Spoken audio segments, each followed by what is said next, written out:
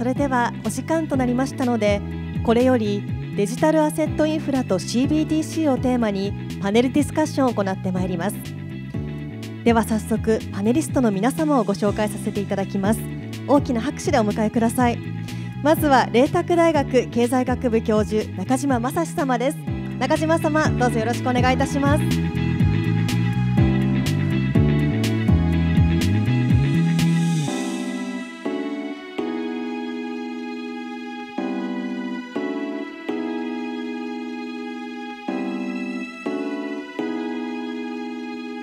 て続きまして日本銀行決済機構局審議役フィンテックセンター長副島豊様です。副島様どうぞよろしくお願いします。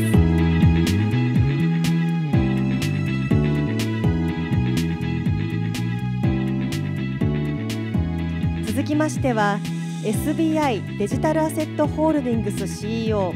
SBI セキュリティソリューションズ CEO SBI デジトラスト CEO フェルナンド・ルイス・バスケス・カオ様です。どうぞよろしくお願いします。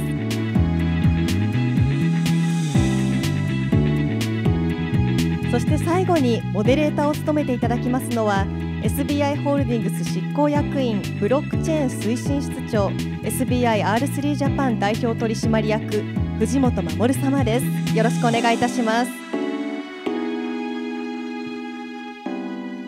ではここからの進行は藤本様にお願いしたいと思いますよろしくお願いいたします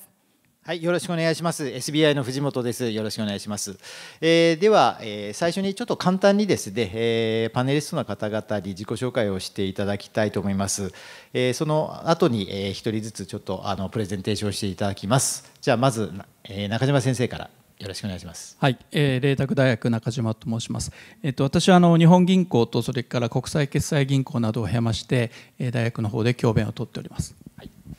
じゃあ引き続きのご登壇ですが、副島さん。はい、えっ、ー、と日本銀行フィンテックセンター長の副島でございます。えっ、ー、と、えー、フィンさんももう3回目になりましたですね。今年もよろしくお願いします。よろしくお願いします。じゃあフェルナンドさんお願いします。SBI データアセットホルティーズのフェルナンドと申します。よろしくお願いいたします。まあ実は、えー、このポジションに就いたのは、えー、つい最近で7月1日 なんですけど、えーまあ、この役割で、えー、生態作りに力を入れて、えー、金融業界、まあえー、として新しい社会インフラを作っていきたいと思っております。で、えーと、今日のセッションはですね、えーまあ、デジタルアセットインフラと CBDC ということで、えー、まず、えー、中島先生からですね、え、デジタル通貨に関する、まあ、世界のトレンドとそういったあの感じのお話をしていただいてその後、えー、副島さんからえー、決済システムと、まあ、CBDC というところのお話でその後で、えー、フェルナンドさんからですね CBI が今作ろうとしているデジタルアセットのエコシステムということで、えそれぞれ発表していただいた後に、えこのメンバーでパネルディスカッションという形で進めさせていただきます。よろしくお願いします。では一番最初に中島先生からお願いいたします。はい、えー、それでは私の方からは CBDC の国際的な動向ということで話をさせていただきます。えー、CBDC、えー、中央銀行が、えー、発行するデジタル通貨ですけれども、まあ、最近の特徴としては、えー、一つはですね世界の中央銀行が今一斉に取り組みを始めているというのが特徴ですそれからもう一つは、えー、いくつかの中央銀行ではですねかなりあの実現が間近に迫っているということで、えー、ご覧の皆様の中にはまあ5年か10年ぐらい先の話だろうというふうに思われている方も多いと思うんですが、えー、実はもう秒読みの段階に入ってきているということでございます。でこれはあの BIS があの取ったアンケートの調査なんですが中央銀行のうちですねもう実に8割がですね何らかの形で調査や実験をやっているということです。それから40%が実証実験をやっていると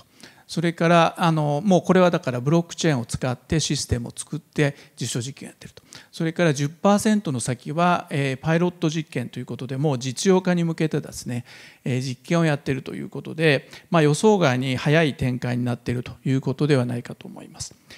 で、えブロックチェーンを語る時にあの実は2種類大きくありまして、えー、一つがですね、え、大口決済用 CBDC といいまして、まあ、これは今のあの中央銀行があの当座預金で決済を行っているとこれをまあ CBDC にしようということでありまして主にこうインターバンクの決済に使われるものということになります。でもう一つが小口決済用の CBDC ということで、まあ、今の現金に当たるものをあのデジタル化して決済をしていこうという動きになります。で、えー、まずあの大口決済用の話なんですが実はもう大口決済の部分っていうのはあの中央銀行の当座預金というのもコンピューターを使ってやってますのですでに IT 化されてるわけですね。でそこでなぜこのデジタル通貨化しなければいけないのかということなんですけれども背景にはですね、えーとまあ、今回のセミナーでも何回も出てきてますがセキュリティトークンという動きが、ございます。で、えこれはあのブロックチェーンを用いて有価証券をこうデジタル化するという動きなんですけれども、まあ、世界的にも相当たくさんの実証実験が行われておりますし、まあ、国内でもいくつか実験が出てきています。で法令も整備されて、まあ、トークン化有価証券といった言葉が出てきたりあるいは昨日もセッションがありましたが STO といった形で、まあ、あの資金調達をやっていこうというような話になっています。で、えー、その証券決済という話なんですが、まあ、証券を決済するときに問題になるのはですね、まあ、証券を渡したんだけどもあの資金がもらえないとか資金を渡したんだけど証券もらえないといった形であの証券決済のリスクというものがあるわけですね。でこれをあの回避するために今は資金と証券をワンセットにして決済を行っておりましてこういう仕組みを DVP デリバリーバーサスペイメントと言いますが、まあ、こういう形で資金証券の決済と資金の決済をま同時に行うような仕組みで今リスクを避ける仕組みをしています。でその時の資金に何を使うかということなんですが、まあ、やはり安全性の面から言って中央銀行のマネーが望ましいだろうということで、え中央銀行の預金で決済をしているというのが実際です。で今何があの起きているかというとこの証券決済の部分がまさにここのトークン化ということでブロックチェーン上でそういったものをセキュリティトークンとしてあの決済していこうという動きになりますのでそうするとこちらの資金の方もですね同じようにトークン化していけばこうアトミック DVP といいますがそのブロックチェーン上で同時にですね決済ができるということで、まあ、ですからこちらがそのトークン化が進むといずれ資金の方のトークン化も必要になるということになります。で、えー、もうすでにいくつかの中央銀行が大口決済用の実証実験というのをやっておりますけれども、まあ、あのカナダシンガポールそれから日銀も西ビートやってますが香港単位中銀と。でいろんなプロジェクト名をつけてやってるんですがまずあのこの実証実験で最初に行うのが資金決済機能ということで資金決済があの RTGS とかですね流動性節約でちゃんとできるのかということをまず検証します。でそれができるとですねえいずれの中央銀行も次にやるのが証券との DVP 決済ができるかということをえ次にやってるんですね全ての中央銀行赤丸になってましてえそれだけまあ中央銀行は証券とのその DVP ということを意識しながらこの大口決済の CBDC の実験をやっているということが言えるかと思います。で、えただこの大口決済用っていうのはまあインターバンク決済用ですのでまあどちらかというとプロ向けの話でありましてまあ一般の方の関心はどちらかというと小口決済用のまあ現金がデジタル化するっていう方がえ関心が高いんではないかと思います。で小口決済用については今なぜ小口の CBDC かといいますとまあ、一つはあのデジタル化との不整合ということで、まあ、いろんな取引がすべてスマホとかでですねリアルタイムで売ったり買ったり予約したりというのができるようになっている中で、まあ、現金だけはあの依然としてですねこの物理的な受け渡しが必要でということで、まあ、デジタル化が進む中で若干こう不便な形になってきているということで、まあ、別の言い方をするとですねやっぱりその法定通貨をデジタル化してほしいというこうニーズが社会的に高まってきているということがあるんではないかと思います。それから2つ目に大きいのはやはりこの CBDC を実現するですね、えー、ための可能にする技術がここに来てできてきたということで、まあ、一つはあのこのセッションの大きなテーマでもありますブロックチェーンですねブロックチェーンが登場してきたということで、まあ、デジタルデータをこう偽造とかですね二重使用しないでできるということが分かってきたということが一つになります。それからもう一つはやっぱりスマホが爆発的に普及してきているということで、まあ、これはあの国民一人一人がですね、まあ、決済端末を持ち歩くようになっているということも言えるわけで、まあ、こういう大きな2つの技術的な進歩があって今 CBTC に向けて、え、まあ各国中銀が取り組んでいるということがあろうかと思います。それから3つ目これ大きいのはあのリブラが出てきたということで、まあ、民間のデジタル通貨に対抗していく必要があるということですね昨年6月にフェイスブックがリブラの構想を発表いたしまして、まあ、あのそれでまあ中央銀行は結構ショックを受けたわけですねであの手をこまねいてこのまま中央銀行何もしなければですねもう民間のデジタル通貨が先に普及しかねないということで、えー、まあ危機感が出てきたとこの辺も今各国の中央銀行が一生懸命 CBDC に取り組んでいる理由ではないかと思います。で、えー、これも先ほどの BIS の調査ですがあの今、えー、10%の中央銀行が短期的にですね3年以内には小口の CBDC を発行する見込みというふうに言っていますそれから20%の中央銀行は中期的に 6, 6年以内には CBDC を発行する見込みと言っていましてまあ予想外にですねちょっと早い展開になってきているということだと思います。でいくつか中央銀行を調べたところではですね、まあ、カンボジアのバコンとかバハマのサンドダラーとかスウェーデンのイークローナーとか中央中国のデジタル人民元とか東カリブの、えデジタル東カリブドルとか。この辺はですね実は去年から今年にかけてすでにこうパイロットテストという形で、え民間の業者とかですね一般の人も含めてもうテストを始めているというところでこの辺が、えー、と実は先行グループになってきているこういうことだと思います。で、え、その中でもやはり一番あの注目度が高いのがデジタル人民元ということで中国は実はもう2014年からですねこの辺の研究チームを立ち上げて取り組んできておりまして、え、もう80件以上特許を申請済みということでかなりま本気度が高いんではないかと見られます。で昨年の9月のあの夏ぐらいからですね急にあの中中央銀行の人の強気の発言が聞かれ始めましてもうあの発行は近いとかですね準備はほぼ完了してるんだというような発言が聞かれて、まあ、ちょっと世界が騒然としているとこういうことではないかと思います。で今年あの一部地域でパイロットテストをやって来年全国展開というようなスケジュールで進んでいるというふうに言われています。で、えー、仕組みですが、まあ、あのざっくり言うとですねあのこういうなんていうスマホにですねデジタル人民元のこうアプリを入れてその中でこうウォレットで残高を管理していくというような仕組みになります。で一応間接発行型ということで中央銀行が人民銀行がですね仲介機関、まあ、金融機関に対して一旦発行してそれを仲介機関から個人とか企業に配布していくという形をとります。それからオフラインの決済機能をつけるということが言われています。で、えー、もう実際ですねパイロットテストを今年蘇州とか深センとかっていうところでいくつかの都市で始めることにしてまして、えー、もうすでにですねスターバックスとかマクドナルドとかサブウェイとかですね、えー、数多くの企業が参加して実験が行われているということであります。で中国では2022年にですね冬季オリンピックが予定されておりまして、えー、この時までには使えるようにするというふうに中央銀行の人が言ってますのでまあオリンピックという国家プロジェクトですので、まあ、それに間に合わせるように多分やるんだろうなというふうに考えています。でえーとまあ、こうやって中国があの注目されてるんですが実はですねあの国内ではあまり注目されてないんですが中国をさらにしのぐ勢いで今進んでいるのがあのカンボジアのバコンというものなんですね。でバコンもやはり同じく間接発行型を取って、え、それからトークン型という形でそのデジタルトークンをそのまま現金と同じような価値を持つという形で流通させていくということになっています。で、えー、バコンについては、えー、注目されるのはこう空光っていう日本の企業がですね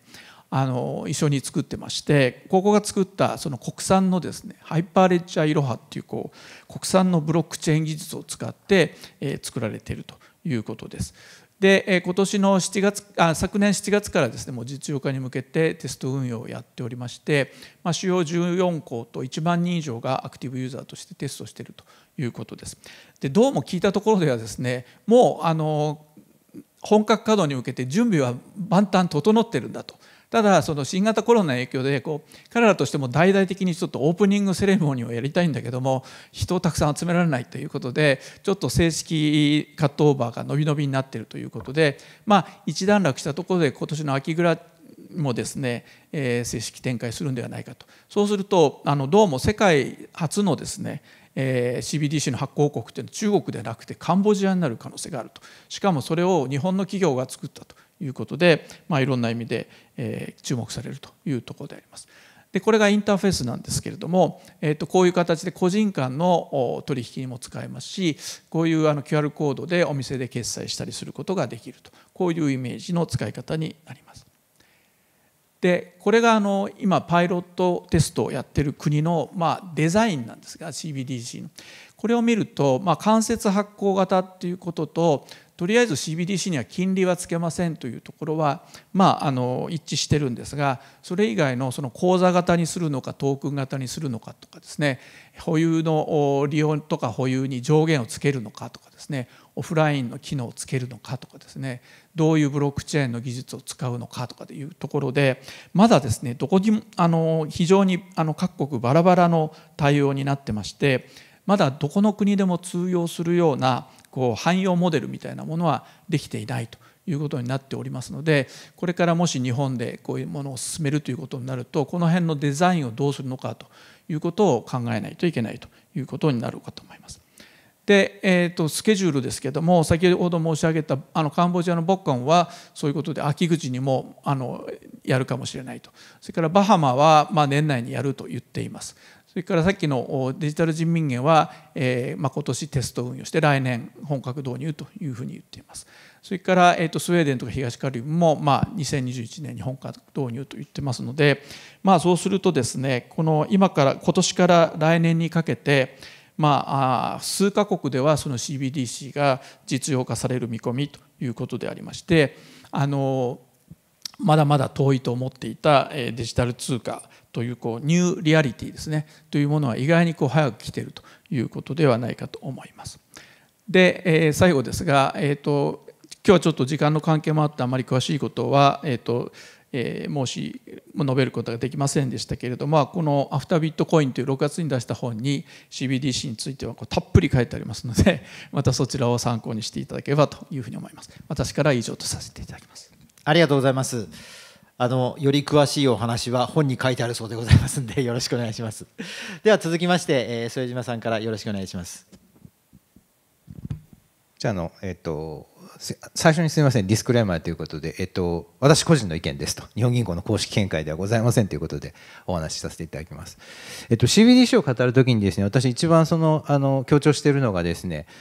CBDC を単独で議論してほしくないっていうのがあるんですね。っていうのは、それってあの日本銀行すでに現金っていうのと、えー、当座預金という金融機関向けマネーですね、えー、預金マネーを発行してるんですけれど、それと民間銀行が発行する預金というマネー、えー、あるいはその現金を流通させる金融機関の役割。それ全体をひっくるめて、えー、マネーシステムや決済システムというのが出来上がってきていると。でそれはその国々において事情は全然違っていてですね。でそこに何かの今のかの、え、課題っていうのがあってそれのソリューションとして CBDC っていうのが議論されてる。あるいは、え、課題ではないけれどもっと何かポテンシャルがあると決済システム決済システムをあるいはマネーシステムをアップデートしていくポテンシャルがあるからこそ議論しているんであって。でそうすると今あるそのインフラっていうのを大きい仕組みをどういうふうに作っていく作り直していかなければいけないのかと。そういうこうシステムの変革期として大きくですね全体を見る。そしてすごく先の遠くの世界を見る。ということで考えていかなきゃいけないと。で実は日本銀行ですねあの今年の2月に決済の未来フォーラムっていうのを立ち上げました。で今分科会をそれぞれ分かれてやってます。で未来フォーラムっていう未来っていう名前を付けたのもそういう意図があるわけですね。でそれを考える時に大事なのは最終目的は何なのかと何のためにそのやろうとしているのかって。それって決済インフラっていうのはいい金融サービスを生み出していくために絶対必要なものです。でいい金融サービスは何のために必要かというと企業や個人の活動国の経済全体の活動がより良くなっていくために必要なものなんだと。そこから逆算していってどういう金融システムあるいは決済システムマネーシステムを作っていかなきゃいけないかと。いうことを考えていくべきだでそうすると国によって答えって全然違ってくるんですね。なのであの、えー、中島先生の中にあ紹介にあったようにですね国によって対応が全然違ってるっていうところもそういうところの帰結なんだろうなと思います。で今日のお話ではですねそのじゃあマネーってどんなふうにで何なの？あるいはマネーシステムってどうやって出来上がってきてるのっていうお話をあの中心にしようと思います。まずマネーって何かって形式的に定義すると現金と預金マネーっていうのが現代のマネー。特に預金マネーっていうのが民間が発行する預金マネーっていうのが一番重要な役割を果たしているわけですね。でかつそれは銀行が発行するわけなので信用創造と決済サービスっていう2つの利用目的っていうのを持っているわけですね。でところが最近はですねその決済サービス事業者っていうのが入ってきて自分の負債として、えー、ポイントを発行しそのポイントがクリアリングシステムのようにえー、あたかも預金であるかのようにですね使われていると。というような現象っていうのが起こっているでこれはマネってもともと何だったのかっていうのを考えるとですねあのよく、えーとえー、社会の教科書にはですねあの貝殻みたいなもの金貨みたいなものいわゆる商品貨幣からマネが生まれてきましたっていう説が書かれてあるんですけどあの近年の学説はですねマネってもともと貸し借り勘定をコントロールするための信用システムとして生まれたんだと。えー、要は譲渡可能な債権っていうものがマネの本質なのであるとそしてその仕組みっていうのを社会全体で信用して使おうねっていう合意ですよねそれがマネの実は本質なんであるというところですね。まあ、そうやって考えていくとですねそのマネーの役割っていうのが分かると。でもう一つは機能的定義っていうところで価値機能価値保価値尺度価値保存機能決済機能を持つものがマネーっていうことだったんですけれど最近の発展っていうのはそのマネーの第4の役割っていうのをもたらしている。情報のビークルになりうるんじゃないのかという形でマネーの新しくマネーに新しく機能が付け加わってきてるっていうのがあの近年のデジタルマネー。あの、えー、マネーはすでにもう現金以外はデジタル化されてるんですけれどじゃあなんでみんなデジタルマネーかって言ってると実はそこが情報を載せる入れ物になってくるんだというところが新しい動きなんだろうなと思います。ここからすみません。駆け足でちょっと行こうと思うんですけれど現在の決済システムの原型って1980年代の後半にできてるんですね。こういう3層構造になってる。なんでそうかっていうとマネーシステムが 2, 2階層構造になってるからだと銀行は民間預金マネーっていうのを顧客に提供しそして中央銀行は銀行に対して預金マネー中銀当座預金っていうのを提供すると。で一番あの効率性が高いマネーっていうのはある一人の債務者が発行する債務っていうのをその人のシステムの中でクリアするここの図でいうと銀行 A の中のお客さんが中で口座振り替えをやると。これが一番コンピューターの数字付け替えればいいだけだから簡単なわけですね。ところが銀行 AB っていうふうに資金を移動しようとするとその上部構造っていうのが必要になってくるわけですね。でこれでうまく動いていたと。で非常に効率的に安定的なシステムができていた。ところが新しくリテール決済事業者っていうのが出てきた。でそういう人たちは銀行 A のサービスを使わなきゃいけないからこういう階層構造がより一層深くなってしまう。で階層構造が深くなるとその分高コスト化につながってきやすい。でこういう問題っていうのはもう10年近く前から起こっていて例えばそれに対するソリューションとしてイギリスとオーストラリアっていうのはこういうことをやっていると。でもともとイギリスって大口のクリアリングハウスと小口のクリアリングハウス分かれてたんですね。で両方とも銀行が使っていたとところがその小口ののクリアリングハウスが非常にレガシーシステムであの決済依頼出してから3日ぐらいかかってたんでそれじゃダメだろうってんでファストペイメントサービスっていうのを立ち上げたでここに決済事業者を参加させていけばいいじゃないかとかつその人たちが中銀に口座を持つんだったらこの階層構造が深くなるっていうやり方って変えられるよねと。で、えー、追っかけてオーストラリアはこれは最初から小口専用のインフラを別途その目的のために作ったと。でこういう形でそのえーと、今もあのもともとの決済インフラが持っている問題っていうのを解決しようとしたでオルタナティブとして出てきたっていうのがリテール CBDC だと先ほど申したようにそのマネーって、えー、債務として発行されたものがある一つのその債務者のシステムの中で、えー、行き来するっていうのがあの一番効率性が高いマネーだということだったんですけれどそこには発行体が違うと当然マネーの壁ができてくるわけですね。銀行の間で違うし銀行と決済事業者決済事業者が発行する疑似マネーっていうのはポイントなんですけれどそれもバラバラ。つまり横にも縦にも壁があるっていうことですね。でこれ乗り越えるためにどうすればいいかと。現金と同じようにある一つの決済手段決済サービスじゃなくて決済手段ですね。を提供すればいいじゃないかそしてそれをみんなで使えばこのマネーの壁なくなるよねっていうのがリテール CBDC の発想だと思うんですね。で他にもソリューションはいろいろあると思う思思います。で、えー、かつですね今決済インフラをめぐってですねものすごくいろんな新しい動きっていうのがどんどんこう登場してきてます。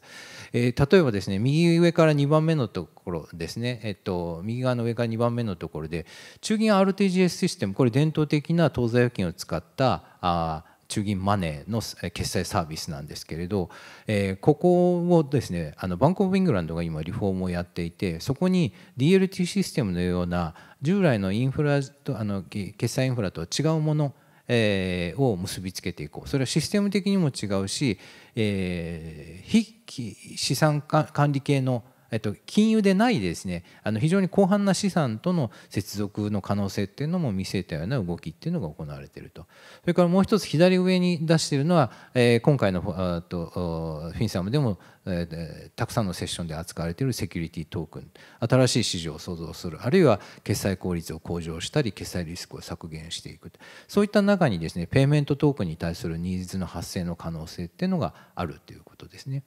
で実際ですねそのセキュリティトークンはそのメジャープレイヤー法制度が整備されたこともあってメジャープレイヤーである大規模金融機関や、え証券取引所や、えセントラルセキュリティデポジトリがたくさん参入してきてですね、え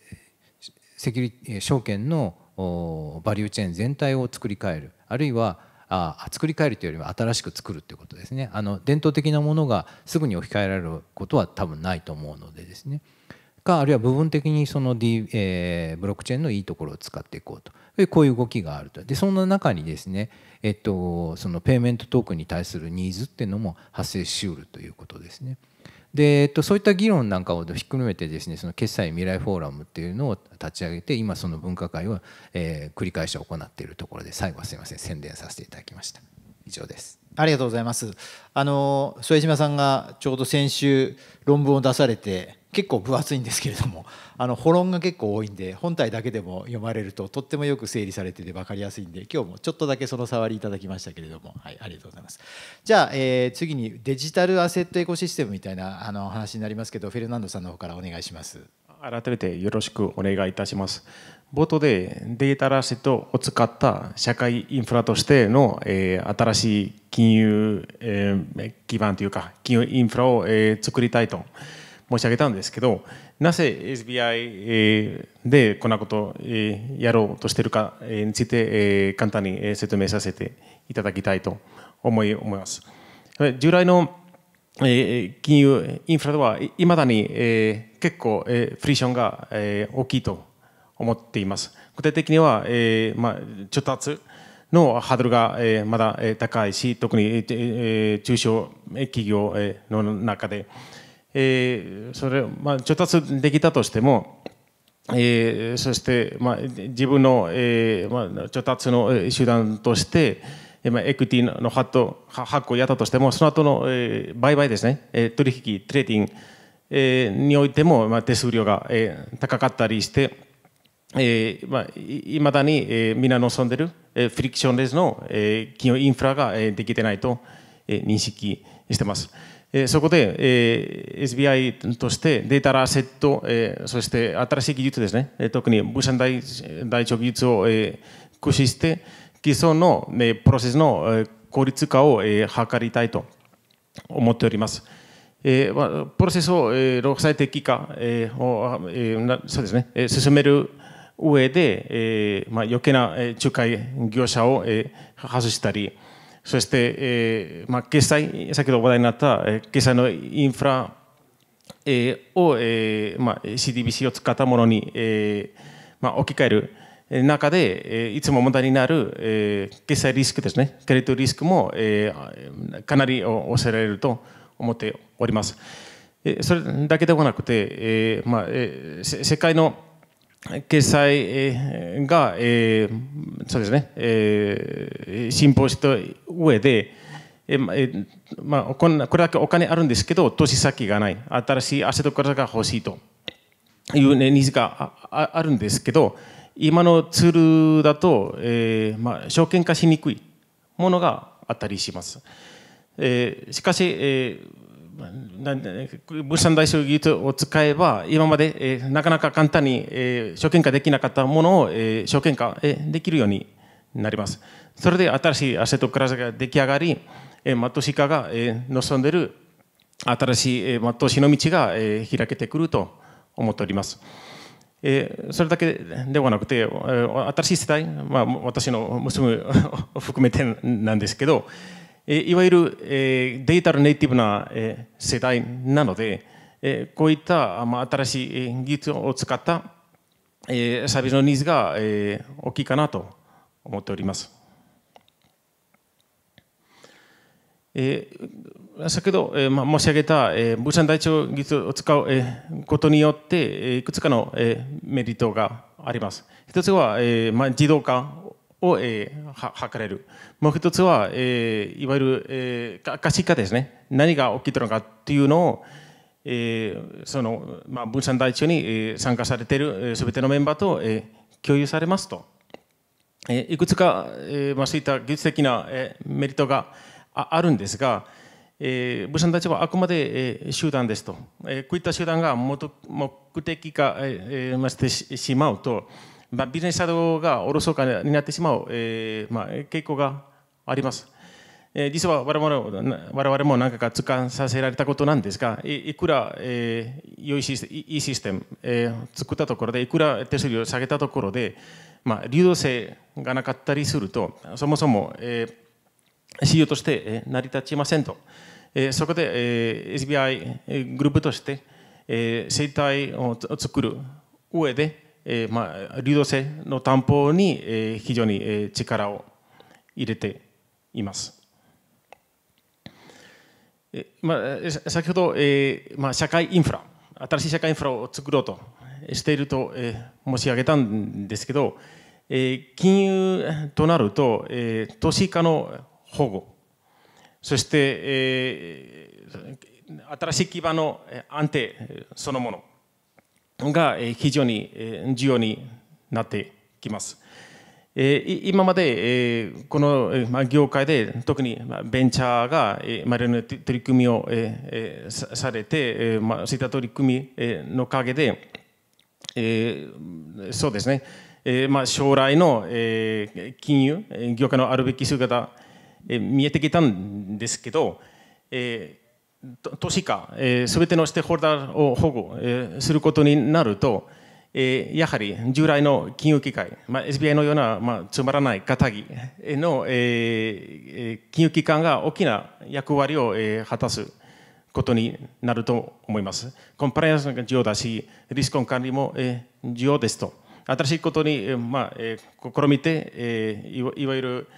えー、まあとにかく何かやっちゃいましょうと失敗したら早く失敗してままま方やりやりなさればいいという、えー、まあ、ベンチャーの考え方厳選なんですがこちらで社会インフラを作ろうとしているので、えー、やはりそういった地味な、つまらない、えー、作業 えー、プロセスをちゃんと、えー、分かっている、えーまあ、金融機関の、えー、役割が、まあ、非常に大きいかなと思っております。それでちょっと逆説的かもしれませんが、えーまあ、従来の金融機関がこういったフィンテックの革命を、えー、いずれ、えー、主導することに、えー、なるのではないかと思っております。えー、そこで、えーまあ、同じく冒頭で我々、まあ、新しい生態系を作ろうとしていると、えー、申し上げました。えーえー、でもそういった新しい、えー、世界、えー、実現するにはやはりすべてのステークホルダーを巻き込む必要があります。一社でこういった作業を実現するのは、えーまあ、到底、えーまあ、無理だと思ってますと。それで、えー、実際に SBI として、まあ、国内外の、えー、当局、えー、金融機関、フィンテックを巻き込んで、えー、こういいわゆる、えー、新しい、えーまあ、グローバルな、えー、金融マーケットを、えーまあ、作る、えーまあ、取り組みを、えー、始めさせていただきましたと。えー、エベデータセットホルティンはこれもちょっと、えー、ある程度宣伝になるんでですけど、えーまあ、7月1日に、えー、SBI グループ内で、えーまあ、再編がありまして、えー、それで、えーまあ、ギターを吉高えー、が、えーまあえー、会長、えー、になり、えー、私は、えー、CEO、えーまあ、やらせていただいてるんですけど、えーまあ、その、えー、再編の中で、えー、メインの、えー、拠点をシンガポールに置くことに、えー、しました。その理由は、えーまあ、我々の認識では一番法整備が進んでいるのは、えーまあ、シンガポール、えー、である、えー、からです。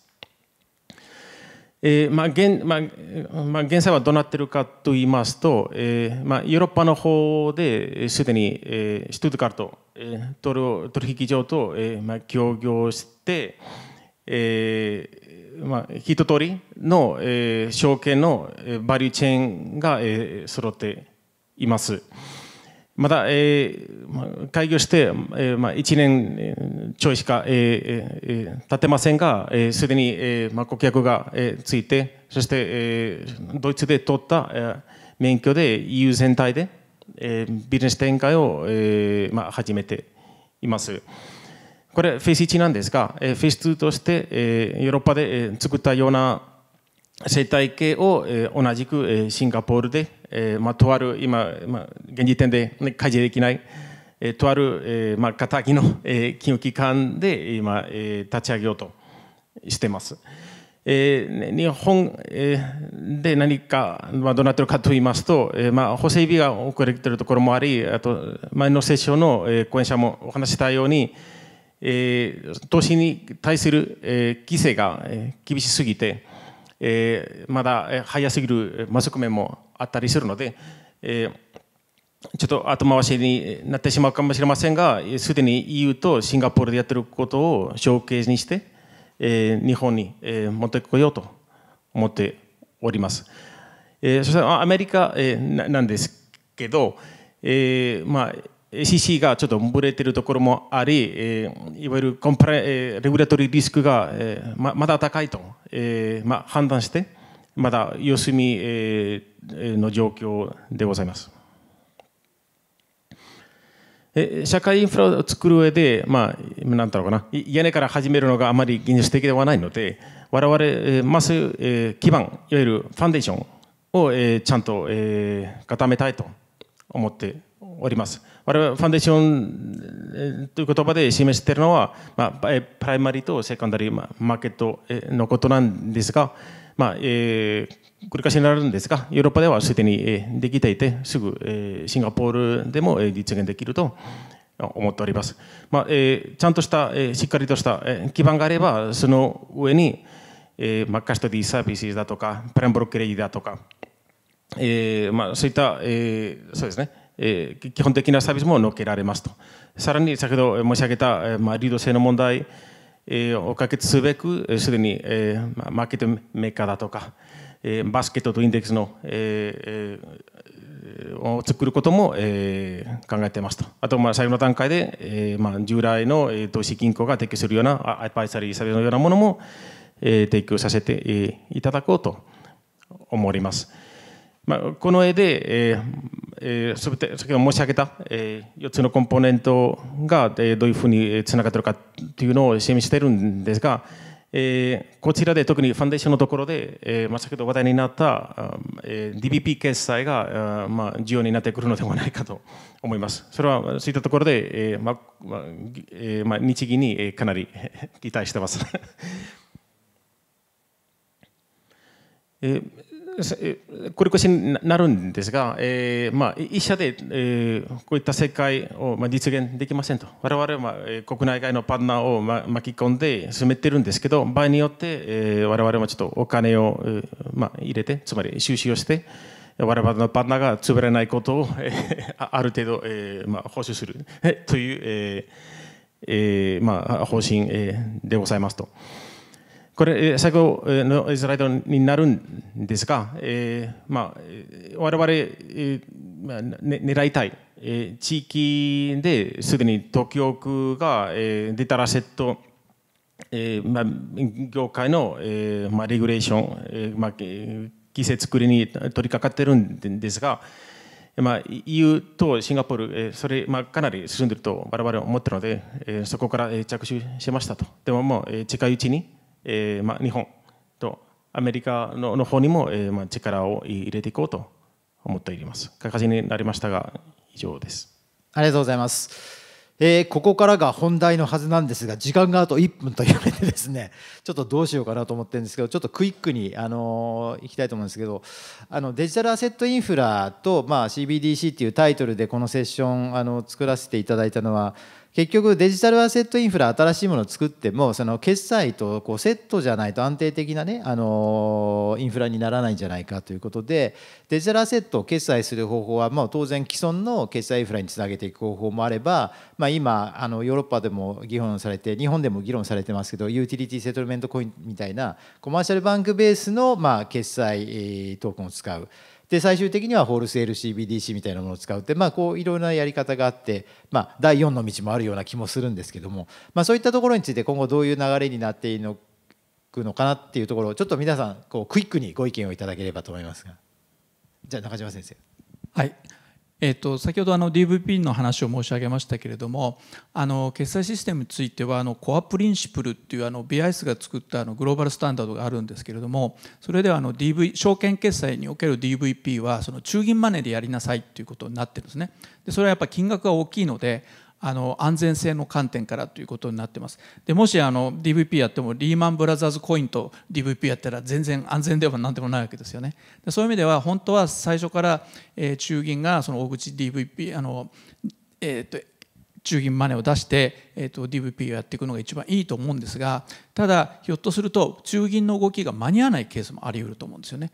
それからもう一つは、えっと、市場が小さい場合もあると思うんです。その場合は民間のあのマネーでやっていく DVP をやっていくっていうこともあり得るんだろうなと。あのある意味の役割分担みたいなこともあり得ると思います、はい、ありがとうございます。そうですね。私も同じく、まあ、市場がちっちゃいうちにコメーシャルバンクマネーで間に合うんですけど我々のモードに、まあ、行くのであれば、まあ、兆円単位の世界になってくるので、えーまあ、繰り返しになるんですけどやはり、えーまあ、日銀に、えー、期待して、えー まあえー、日本としても CDBC を把握していただきたいなと思っております。副島さん個人的な見解として ぜひ。あの冒頭の私の冒頭の話に戻るんですけどやっぱり日本全体としていい決済インフラ金融システムを作っていくときに民間銀行民間マネーとそれから中銀マネーの役割分担をどうあるべきかっていうのはこれはみんなで議論するしか多分ないと思うんですね。我々だけで考えることではない。中島先生がおっしゃったみたいにアーリーステージにおいては民間銀行マネーっていうのもあり得るだろうと。でそれはそれでまたイニシアチブがたくさんありますけれどマネーのまずいところはその民間マネーのまずいところはみんな発行体がバラバラだったら債務者が違うマネーになるんでそれをまた交換する時のクリアリングどうするんだって話になってくるのでそこは一つのえ債務者中央銀行の債務という形で発行されるデジタルマネーっていうのの使い道はあるんだろうなというふうに思います。まあ、そういうのをひっくるめてどんなふうにこれから日本の決済インフラの未来作っていけますかっていうのを議論をますます加速させていかなきゃいけないフェーズに来てるなと思います。ありがとうございます。あの個人的な私も見解ですけど全然 SBI を代表した意見ではないんですがやっぱりあの最初に副島さんおっしゃったようにもう基本的にマネー自体がデッドだと思えばそのデッド自体をどう作るかっていう考え方もあるのかなと思うんですよね。つまり今の日銀当座預金じゃないんだけれどもえー、同じぐらいのあのクオリティがあるようなデッドを作ってしまえば1個のプラットフォームの中では簡単に決済ができるんですけどプラットフォームまたがって決済するっていうのは技術的には可能ですが、まあ、コストもかかるし効率も悪いっていうのもあるので、まあ、そういったちょっとあの方法これはまあテクニカルな話かもしれないですけど法的にどうなるかは非常に難しい話だと思うんですが、まあ、そういったちょっとクリエイティブな発想っていうのもあの新しいデジタルアセットインフラとしては必要なんじゃないのかなと、まあ、こんなふうに考えておりますけど。ということですいません。時間超過いたしましたがあの本日は皆さんどうもありがとうございました。ご清聴ありがとうございました。どうもありがとうございました。ご登壇いただきました皆様に今一度大きな拍手お願いいたします。ありがとうございました。